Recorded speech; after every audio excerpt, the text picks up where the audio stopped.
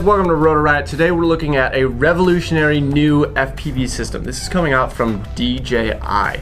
They're coming out with an FPV system that's all about HD. And they have put together the whole kit for you, which are going to be the DJI goggles, controller, and also the DJI air unit. which is going to include this box here, the camera, and the two antennas. This is going to actually record HD footage on board with an SD card. So you're going to get 1080 60 frames just out of this. So depending on, we'll see how much we will like the quality of it, but it could possibly replace your GoPros. It's gonna be kind of hard to fit on different frames. It's a little large, but I mean, it's really not too crazy. We were able to fit it in this teeny race drone, and this handles radio signals and the FPV video all in one unit. The DJI is full HD in the goggles. So not only are you seeing exactly what you're recording, but it makes the experience that much better. That's crazy. That is nice. That's That's kind of nice. kind of nice. That's kind of sharp. That's kind of sharp. That's like 4K.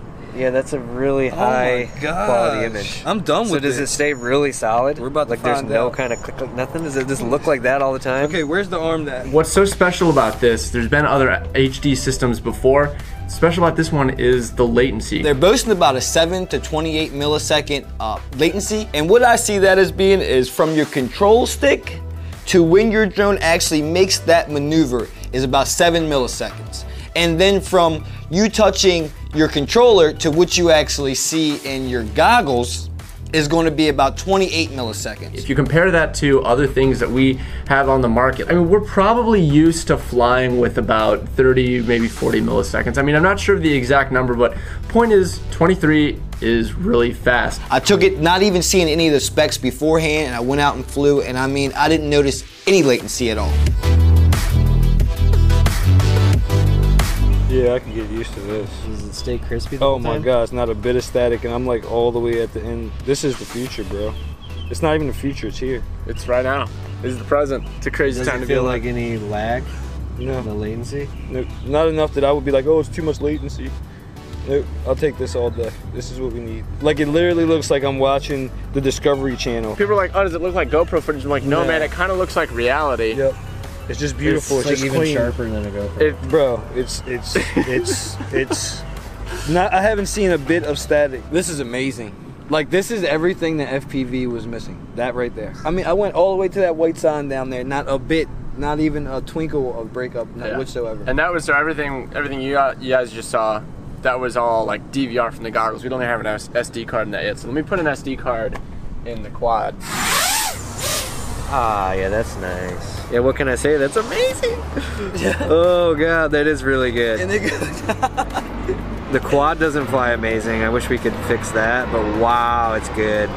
no breakup, right? No breakup. It's just a shaky quad. I'm pretty sure we I can go over here. Yeah, I'm completely behind the building, like no line of sight at all. Worst case scenario. How's the like latency in that? It's getting just now.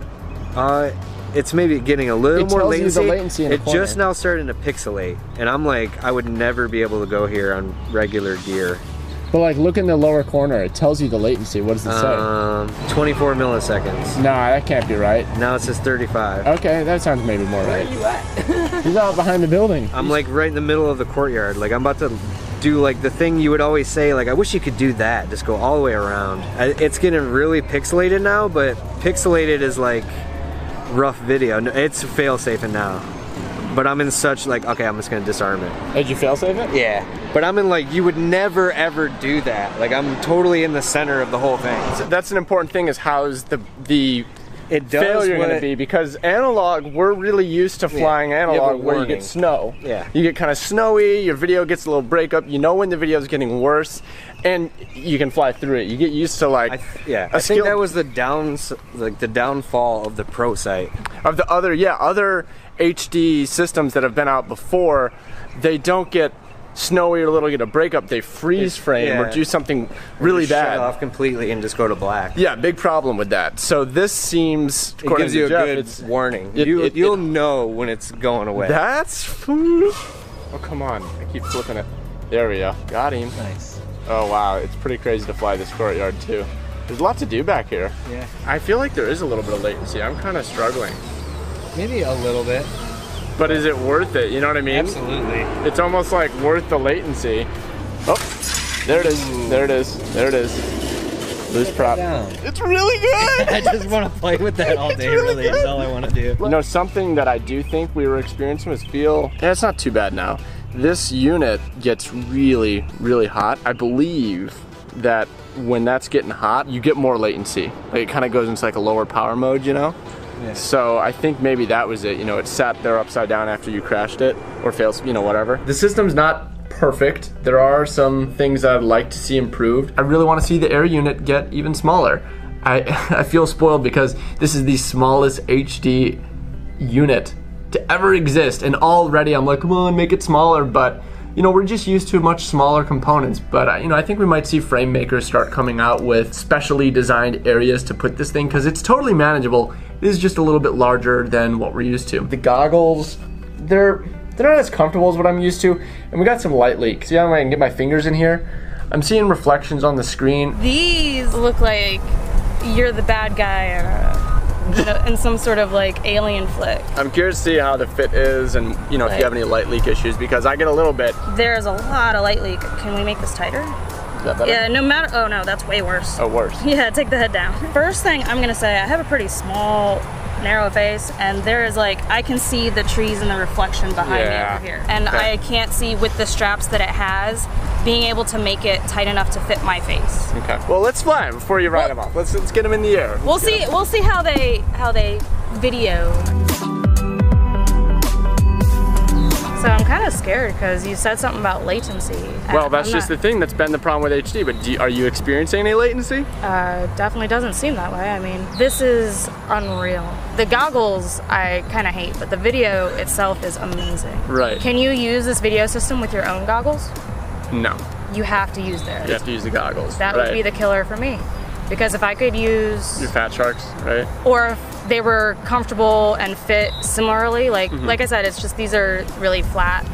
There's a lot of light, but I'm not noticing any lag at all. Do you see the recording icons on the screen? I do. Yeah, I forgot to hit record, but luckily it came set up that it starts recording when you take off both the DVR and the goggles, which is a 720p DVR recording, and the onboard unit, which is going to give us a 1080p 60 frames a second. So you don't have to carry a GoPro. You do not have to carry a camera, which is, you know, a big thing if, but you could if you, want to go like 4K or something, because that that maxes out at 1080 right now. yeah, but most people are fine with that.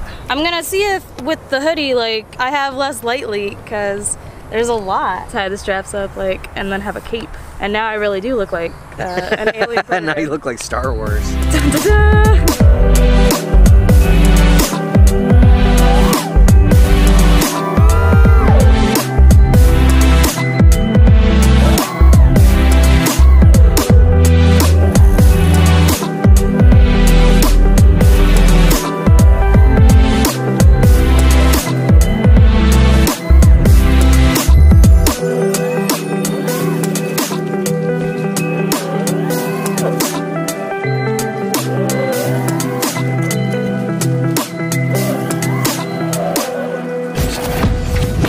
Set up to do a bit of a range test. We're gonna find a long stretch of pretty remote road, and we're gonna set up the pilot on one end.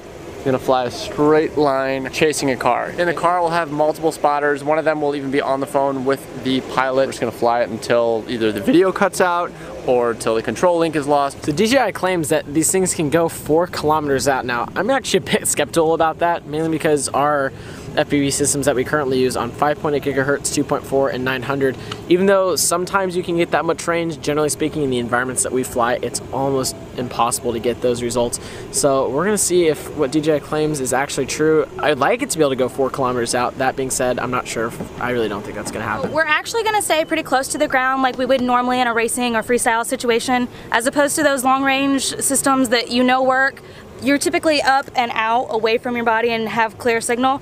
We're gonna go just like we would if we were flying for real. So that'll definitely affect the range. It's gonna be more real life for us. We're not gonna typically be in those situations where we have wide open nothingness blocking us. We're gonna have obstacles. So we wanna see if this is gonna be a system that'll work well for FPV. Do we have uh, communication with the pilot in command? Yes, sir, brother. And I am beginning to drive.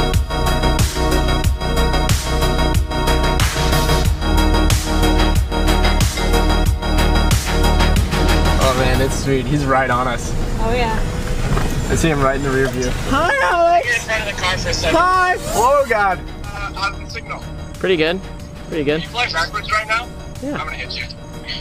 Oh, right. Keeping visual contact with yon drone. I could just reach out and grab that thing. I'm gonna stay a little high so I don't get splashed in water. Oh yeah, watch out the splashes. Oh, that was so close. How does the water look? Oh man, that means it's gonna go down in water potentially. Okay, wait, no, we're gonna be we're gonna be clear of puddles in a minute. I'm gonna go ahead of you. Okay. We got line of sight. We got you. Uh, it's starting to get a little slippery. Yeah, you well, you, we're the car is between you, so maybe stay just Right. behind the car so that we're not blocking you. Okay, we're clear of puddles, so if you're gonna go down, you should be pretty safe to go down. But I wouldn't maybe necessarily be so close to Jamie when you're gonna go down. She, she's fine. We are pretty far. We're at an intersection now. It's really good. Like the signal's pretty clear. We are coming up to an intersection, so I'm going nice and slow. There's people. Hey, everybody.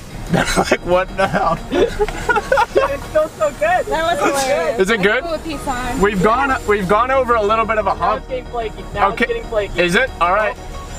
It's getting. It's gonna Hold go on. soon. I'm gonna pause here. Just hover behind us. Hover behind us. I'm gonna let a car pass us. Get behind us. There's a car coming up. Okay, we're clear.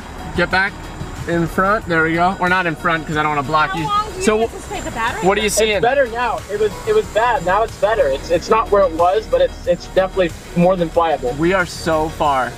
Oh my gosh. How far are we? You think? I have no clue. But you're really close to the car. Oh my gosh. Is that shot sick, Jamie?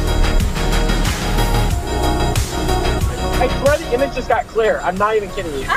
Okay. Sorry, Jamie. Didn't mean to get that close. We're going under some power lines, so be I careful. see him. I Um. I guess you can because it's H and D. Dude, it's so clear right now. I don't get it. And the control. Here's another thing. The control feels really good too. Like it doesn't feel like the latency is increased or anything. Doesn't feel like there's any latency or anything. No, it feels the same as when I took off.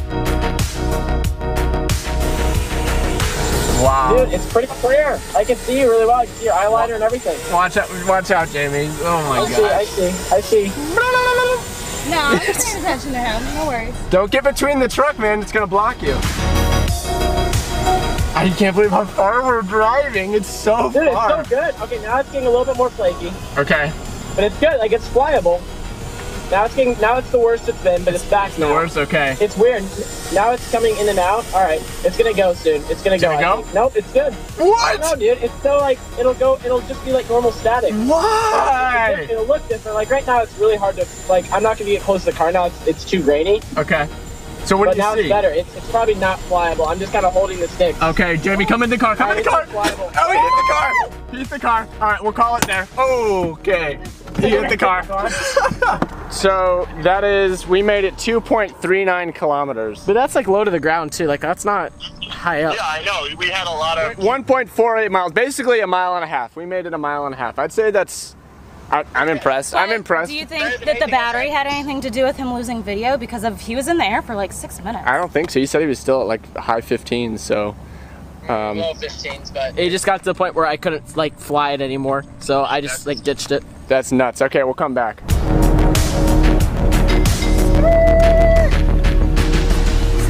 that was insane. That was nuts. I was freaking. You got like halfway there, and I first time I said I think it was gonna go out. That was the first time I experienced static. Yeah. Or what like static looks like. But immediately it, it just came right back, and it was perfectly clear, just like I was here. Towards the end, it just got really, really bad. I'm like, okay, should I put it down? And then I'm like, okay, I'm gonna put it down. But like I didn't know how to put it down, so I just disarmed. That's fine. And so you I- did hit the truck. That's okay. Yeah.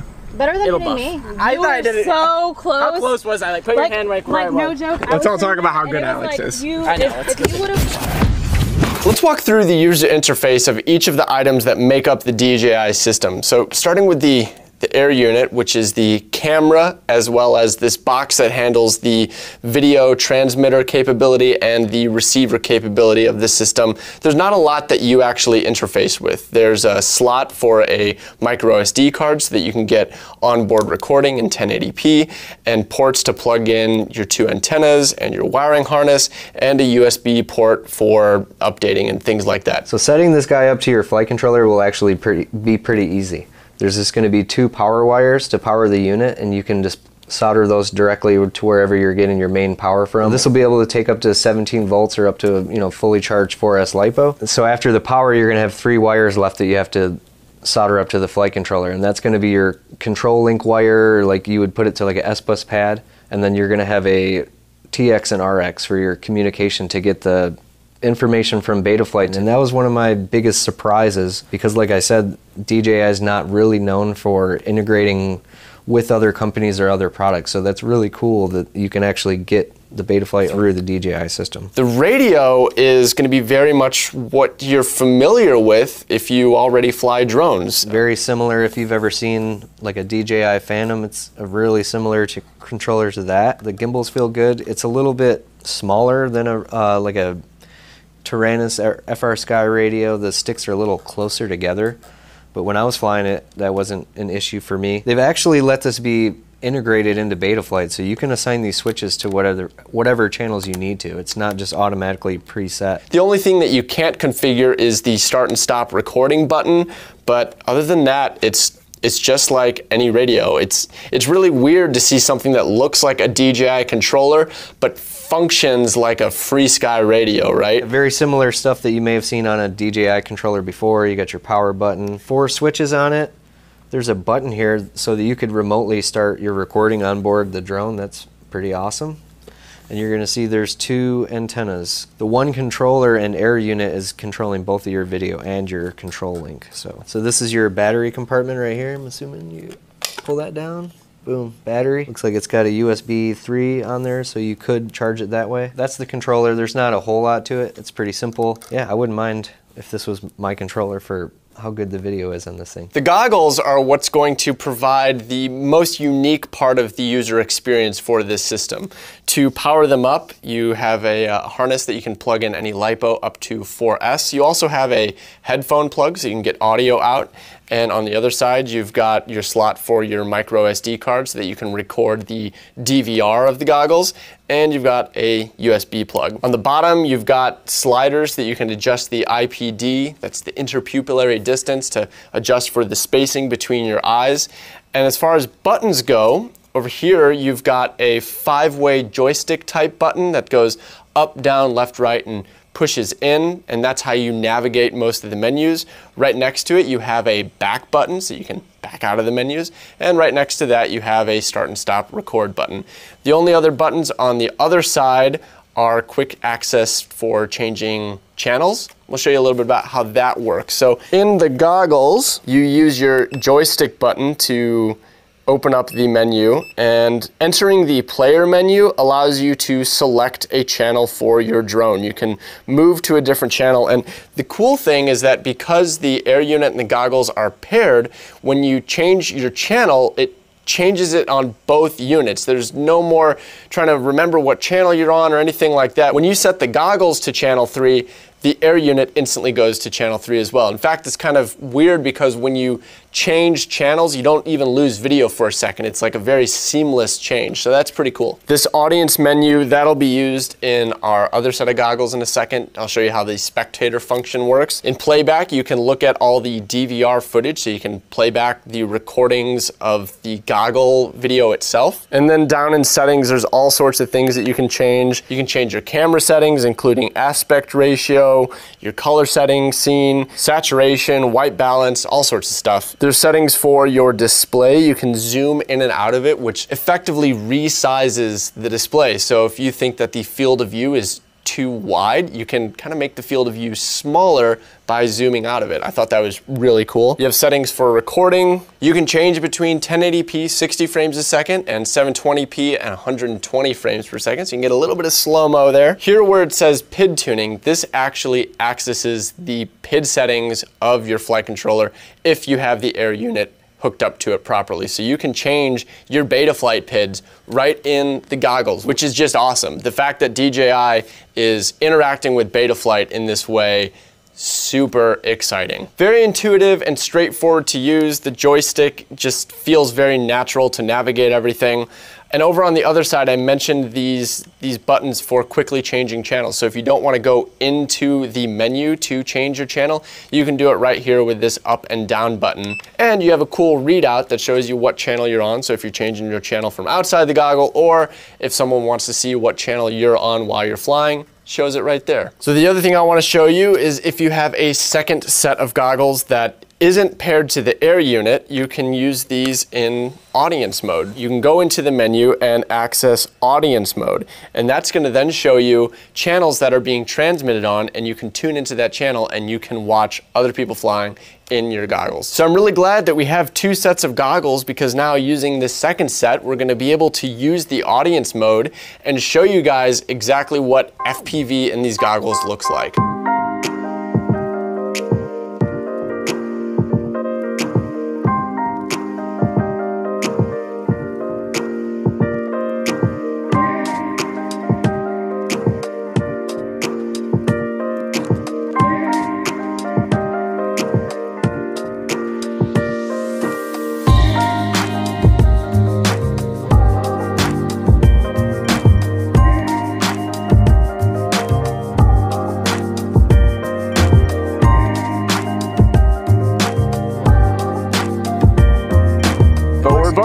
So Alex should be able to watch me fly now. That sounded interesting. This thing, I don't have it tuned all that well, so I'm going behind some trees. It's so much fun to like just fly though. It's kind of a whole new FPV experience. It's definitely not a finalized product. I like it a lot. It just it's so clear. You're doing a good job flying right now. Thanks, Alex. They say that the audience member will have a little bit more latency and a lower quality and less range. So Now why is that? Is it linking to your goggles? it's because the I, I hope I'm explaining this right. If I'm not explaining this exactly right, apologies. But my understanding is that the radio link and the video signal, it's all one communication. So it's all one feed that's like put together if that makes sense. You're only picking up a part of that feed rather than the entire package, which I guess reduces the performance. That's my understanding from what they are essentially permitted to explain to me. The whole system is is a 5.8 system and it's all together. It's RC and video on one 5.8 situation, if that makes, sense. a little bit. In your opinion, would you still want to run a GoPro on top of this? I, you know what, we'll have to check the footage, but Yep. I probably would because this maxes out at 1080 and I like to film at a higher resolution. It's also 4.3. And this is, you can, this is recording right now in 4.3. You can switch it to 16 by 9, but what it does is it crops the top and the bottom of the image. And it does it while you're flying too. Ooh, that's weird. So what I'm doing is we're filming all this in 4.3 and then my plan is in post. Oh boy! Mine just went Mine out. just froze. Whoa! Mine froze too. Mine totally froze. Mine froze completely. Oh no. Yeah, like, it just went- it just, like, went locked us. total lock. That's exactly what we've talked about a few And times with about. previous HD systems That like Connex, is scary. oh very scary. That's the worst thing that can happen. That was very scary. it was un- it was not predicted either. It wasn't like it was starting to go out. It just locked. in all the flights, I haven't had anything yet. So it, that's why I've been so impressed with this system. Is because I've done 10 flights and I've never seen anything like that happen. You almost landed in an ant pile. You know what? Oh no, there may have been a reason for it doing that. Yeah. That's not related to the system. The ESC caught on fire. Who built the quad? Shut up. I built it. Do you not know how to solder? I will cut your face. If I had to place my honest prediction, I'd probably say your solder failed midair, but that doesn't really No, make I sense. think the ESC failed. Well, we were getting those jitters. yeah, it's true. I, it might have really been a bad ESC the whole time. So I think the ESC smoked up in the air. I can't really fault the DJI system because it has been working great. We flew Yes. at super long range, even when Yes. it would kind of go not to static but to its type of like pixelation, Mm-hmm. it never once froze up on me. So I'm gonna give it benefit of the doubt, but I'm gonna proceed with caution. Well, I'm jazzed. Are you jazzed? Woo! I think this is kind of the first step into the future of FPV. I think it's a big leap. Yeah. We haven't had as many big leaps in the hobby lately. I feel like This is te- one of the tech is kind of plateaued. This is a big jump. Right. It doesn't make the entire FPV experience foolproof. We still did have a failure, which we determined was an ESC failure. So the ESC failed in the air. I wouldn't blame the DJI system. I don't. I don't think there's any. I mean, anything's to blame possible. That. being said, it did survive the fire. We got the scorch marks to prove it. So DJI can totally advertise that this is fireproof. Pretty good. It's pretty. It's, pretty, pretty good. damn good. So it's not perfect. I think the biggest problem we all faced was the fitment of the goggles. Yeah. Right. We all had some light leak issues, especially Jamie, who has probably the smallest head. DJI has told me that they are going to be coming out with different foams. So this just velcros onto the goggle. You can put different pads on here, and they're going to be coming out with thicker versions Mm-hmm. to make up for different styles of faces, I guess. But to their credit, that's the only downside I can see to it. Right. Well, the size too. I mean, I, This I was is a s- expecting bigger, so like this is as small as an HD system has ever been for sure, but it's still not going to fit in most of the frames that are out there. As far as dimensions goes, it is 15 millimeters thick. It's 45 millimeters long and about 40 millimeters wide. So it's it's pretty it's, It's pretty not large. tiny. It's not, but it is a small as HD video Yeah. has ever been. So I don't know if I'm going to convert all of my quads, but I'm going to have a quad with this yeah, for sure. We should talk about the price. We have not in this whole video yet mentioned what any of this is going to cost. Yes. It's not going to be cheap, which is to be expected. Any DJI product's not really the most budget-friendly thing, Mm-hmm. but it's not astronomical either. Okay, so let's start with the radio. What's the radio cost? Radio is 300 bucks. That's that's pretty good for a radio. You can Yeah, there are cheaper radios out there. It's a little pricey. There's definitely cheaper radios. There's definitely more expensive radios. Mm-hmm. I think the downside is it's $300 for a radio that's only compatible with this air unit. And you can link multiple air units, so you can get the radio and get multiple air units. So just like we have one radio that we fly all of our quads on, you'll have one radio that you fly all of your DJI FPV quads Yeah, on. Yeah. So if someone's just getting into FPV and this is the route they go, then that makes sense. Yeah. They're just all in. They'll just only get this unit for every quad they build. They'll use that radio. And you know, if you are if you are already into this and maybe don't want to buy all this stuff all at once, you can skip the radio. You can wire in your own receiver and just use the air unit for video. So even though the air unit is always going to be capable of both video and the RC link, if you don't if you want to save 300 bucks, you don't need the radio. You can use your own receiver and radio system. But there's another component that you're gonna have to fit in there when this is already pretty large. This is true. All right, what about the goggles? How much are? The goggles are 529. That's pretty good. That's not that bad. That's less than Is that less Fat than? Shark HDOs with Oh, any, true. you know, pretty much any receiver that you could. I don't think there's a $30 receiver. Yeah. So for, it's definitely a higher resolution screen in them. If these goggles could be compatible with analog video, That would- they would be a total winner. Yeah. I would say just get these because why not? The downside is they are not compatible Right. with analog video. So it's only going to work with the air unit and these you are going to have to use. There is not currently a solution to get video from the DJI air unit into any other display. Not gonna work. So you have to have the goggles. But 529, that's really not that bad. I expected them to be like six I thought this would seven. be like I thought it was like maybe like a thousand. they look like they're worth a thousand. They're Yeah. very fancy looking. The actual air unit, the thing that you actually fly with. What's this? That's 179. W- Can you wait? Can you get the components separately though? Like, because what if I can. smash? Oh, you can. So if you smash the camera, that's $59 to replace. Dude, that's not bad. It's not that crazy. That's not that bad because I, I mean, think FPV cameras are around 40 that Right. we use right now. Oh, Another that's not 20 that bad. bucks. And then if something were to happen to the air unit, that's $100. All right, so let's say I'm sold on this. I want the goggles. I want the radio. I want the air unit. What's you know what's a whole system? What's that get up to? It's going to be 929. It's a lot of money. It's a lot of money. It's definitely a lot of money, but Right.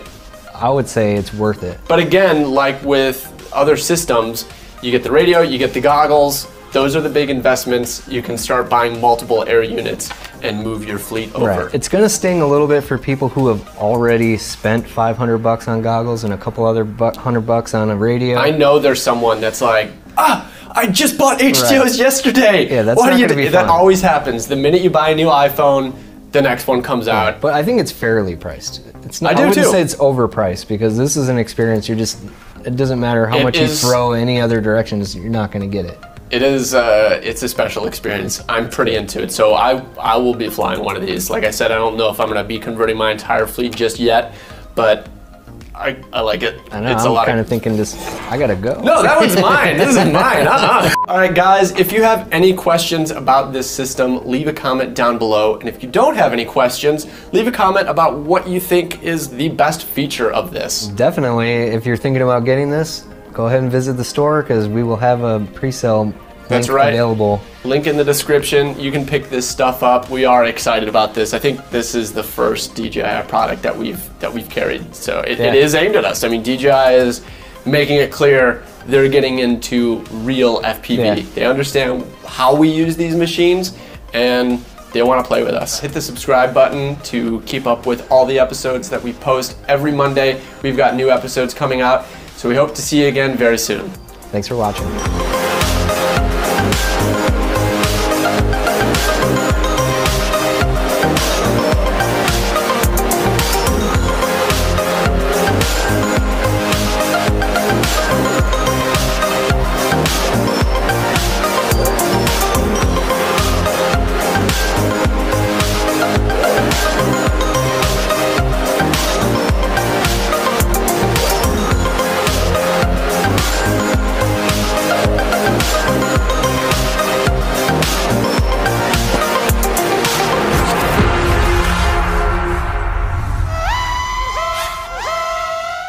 Map Ruler, available in the App Store. Not sponsored by Map Ruler. If you want to give us money, we'll take it. Put that in the episode, please.